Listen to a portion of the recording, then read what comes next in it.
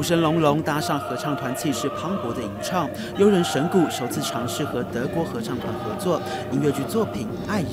就是那种天籁，然后跟我们的这些鼓。在跟东方的这样我们的这种身体的结合，然后我们透过诗的语言，可是最重要的是我们通过了一个字，那个字就是我们心中每一个人心中的那个最重要的一种东西，就是爱。融合东西方隽永情诗，游人神谷透过太极散手串起不同文化的爱情观点，将为二零一六台湾国际艺术节揭开序幕。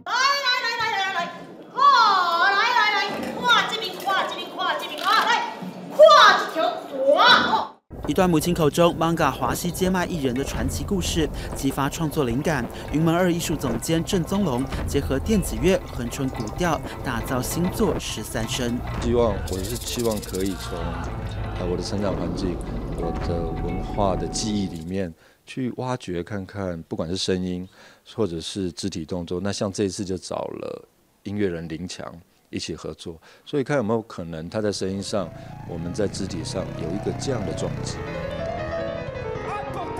曾以小刀小姐深情酒馆惊艳台湾观众的欧利威耶毕，将带来亚维农艺术节开幕作品现代版沙翁名作《李尔王》。